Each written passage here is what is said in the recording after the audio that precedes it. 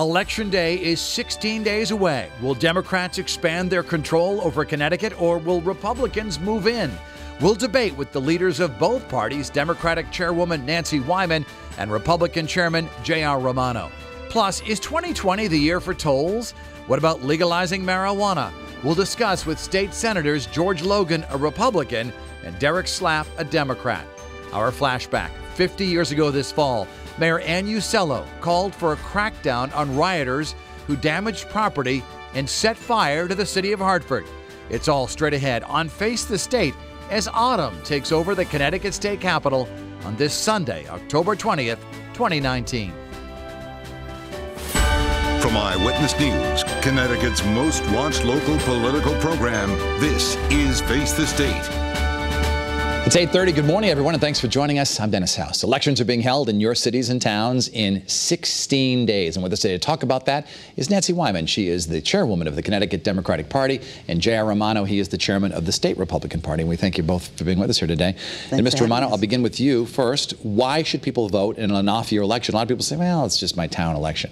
Well, actually, the, the local elections have the biggest impact on uh, individuals' property tax. Uh, are your roads being plowed? Are they being paved? Uh, what's the financing of a local community? So, it, it- actually, local elections have the biggest impact on an individual um, on a day-to-day basis. B- Board of Education; these are all things you know where your children are going to school. So, it, it matters a lot. Do you find the apathy as well when you go out there? We do, but the truth is, more and more now, I think, uh, people are coming out to vote for this local election. I've seen more excitement as I've traveled around the state um, this year, where there's more diversity in the tickets at the at the local level. People are talking a lot more about it. It is, though, I have to say, the hardest job I ever had was being on the Board of Education uh, because everybody knows what you do, and you're constantly being picked on to saying, to being asked about what my what about my child? What about this? So I, I really admire those local people that are running for local election. You mentioned diversity, and, and about five years ago, I had you on the program, and you said that you wanted to see more women running for office. Are you finding that? We are seeing more women on both sides of the aisle running for office. Um, we had the biggest election for us and uh, for nationally of women, um, um, Democrat and Republican, in Congress this past year. And what we're seeing at the local level, more and more women are getting involved, and more and more people of color are getting involved, which is really exciting to, to see the balance. As you look across the state, Mr. Romano, do you see the potential for any Republican pickups? Absolutely. Uh, th- there's a major controversy in Fairfield right now. Mike Tetreau is uh, facing a lot of scrutiny. He's, he's over the last five years. There's been some uh, issues with the Parks and Rec Department where they actually. I don't want to use the word toxic, but I don't know how else to describe it. Where I think it's still six fields or kids can't play on them. There was some um, backfill that was. Uh, not supposed to be there. Uh, and then the, re- the remediation fund that was supposed to be meant to clean up the parks, Mike used a little of it for image consulting. Uh, so there's, I think Fairfield's a tremendous opportunity for us. Uh, we have a great candidate in Brenda Kupchak, speaking of, of a, a, a potential female uh, first selectwoman. And uh, I think that's one to watch. And what about some Democratic pickups in some traditionally Republican towns? I, I think we have a good chance in Madison right now um, to pick, pick up a seat there.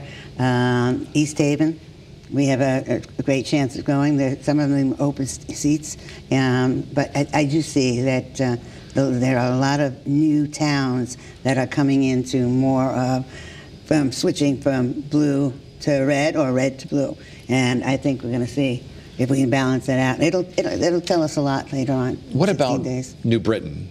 Mayor Erin Stewart, a Republican, is up for re-election there, and Democrats would love to get that seat back. What are the chances? Yeah, she, I think the her opponent is working as hard as he possibly can.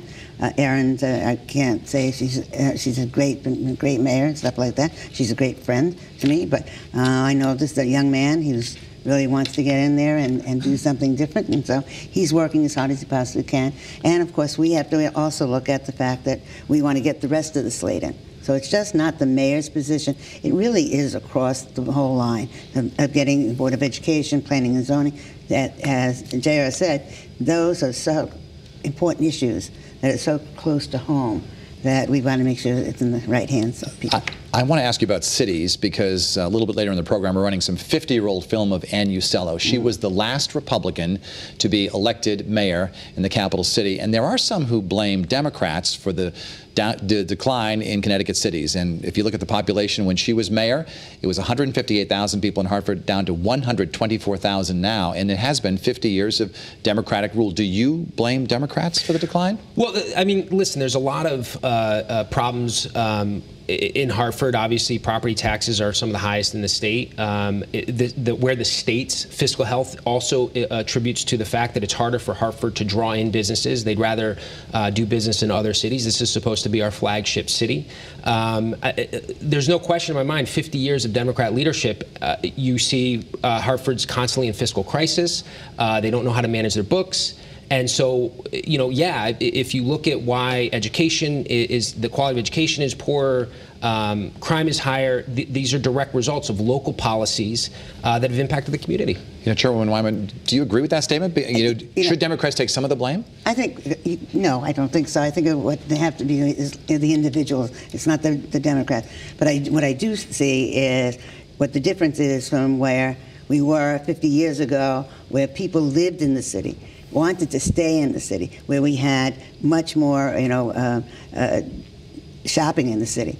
And then all of a sudden, what you saw happen, everybody's moving to the suburbs. So what, those people that can't move to the suburbs are staying in the city. And that's, that's a smaller margin of people, of course, and they're, they're poorer. And so I think, you know, when you look at uh, the mayors and, and, what they've done in the city, they have tried to work it out. We, we see what Luke Bronin is doing right now and how he's changing things and what we've seen growth in our city. It, it, it's tough being the capital city. It's tough because we can't, we don't, we don't, we don't tax ourselves as a state, and so we're not paying any taxes to the to local cities. There has been criticism over the years that Republicans don't take these city races very seriously, and they don't often yield a candidate, or you know, field a candidate rather. Uh, you know, New Haven traditionally Democratic city probably will elect another Democrat. Hartford will elect another Democrat. What's your response to that? Well, listen, the, the numbers are overwhelming. Uh, I think one of the things that, that is often difficult, and, and I just want to touch on the point, uh, the governor's absolutely correct where populations are shrinking and people are moving outside, but, but that's because of the property tax cost, the cost of doing business in Hartford, the cost of doing business in New Haven, and that is a driving factor, right? Economics is a driving factor of what quality of education, of why people leave a city. Republicans would love the opportunity to lead a city like Hartford, New Haven, or Bridgeport, but Democrats oftentimes won't give us the opportunity when we do run. I'm going to use Erin Stewart as a prime example. We are outnumbered nine to one in that city, and Erin has done a tremendous job leading that city. It is it is now growing. Grand List. They actually delivered a zero uh, tax increase budget. I don't know. The, I couldn't tell you last time Hartford or New Haven ever did that.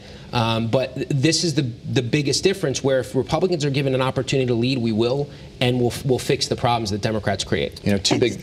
Just re respond once, uh, and I want to be clear about this. The problem, the difference in, in New Haven to um, to Hartford and to other cities. Hartford has all our state buildings in it, and they don't pay any taxes to this to this town. This but they had them 50 years ago. Someone would eh, say. Yeah, and and the problem was is that now we how else do they raise money unless the state comes in and gives them more money? How do they raise their money to? But but Nancy, and again, I'm just going to point out, I think New Britain has about 53% of its property is non-taxable between Central Connecticut University, charities, churches. Same with New Haven. You have every every city, major city, has that problem. That, in particularly, I know for a fact New Britain has over 50% of the property uh, is, is tax-free like Hartford, or at least close to it. Hartford may be the largest, but every major city struggles with that when you're dealing with the universities, when you're dealing with hospitals, and so it is not a unique problem to Hartford. What's unique is the, un, the, the Democrats' unwillingness to cut anything, right? It's always growing government and, and things of that nature, and that's just my, my personal opinion, and you can just look at the numbers. Right, but I don't, then don't, don't look at the budget in New Britain then, because if you looked at last year's budget and the big increase that had to go into New Britain, and they had a big property tax increase. They also didn't get a $100 million bailout like Hartford did. That's true. So That's true. But Erin had to solve it herself. All right, well, I don't know if she did. Let's yeah. move on to our next uh, facet of this, of this conversation. You both have to defend two people who aren't terribly popular right now, and one is the governor, Governor Lamont. His approval ratings lately have been pretty low. You talked to some local city leaders, town leaders, they're upset that the bonding has been cut back under his debt diet. Do you think that'll hurt candidates this year? I don't think so. I really don't. I think the candidates that uh, are at the local level, uh, people aren't going to relate that to to Governor Lamont.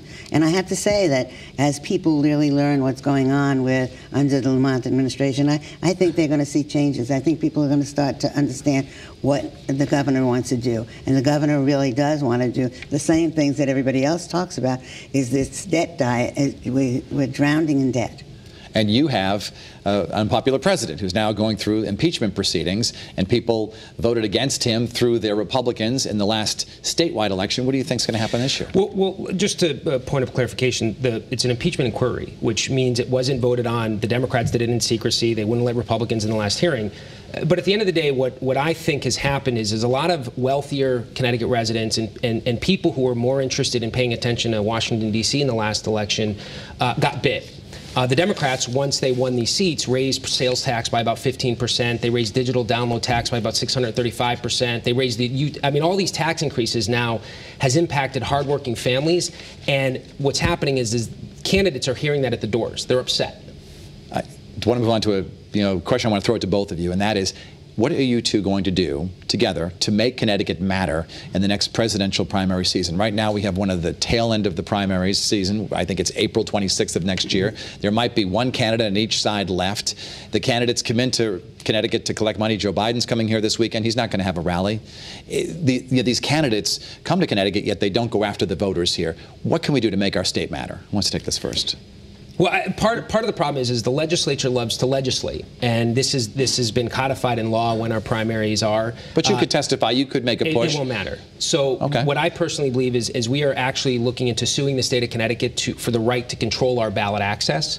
Uh, we're, we're, putting together a team of lawyers together to how we do our process. Uh, there's federal case law that actually mandates how each party uh, maintains and, and, and gives their ballot access to candidates. So we're, we're actually, that's the only way it's going to change in the state of Connecticut. Um, passing legislation like this would, would be very difficult. Why should people in Connecticut be less valuable, though, or less important than people in Iowa, New Hampshire, South Carolina, Nevada, and uh, 25 other states? I don't disagree by any means. The, the reason uh, that we can't change it right now is because of agreements in different states with the, with the Republican Party of how, how are we going to change this?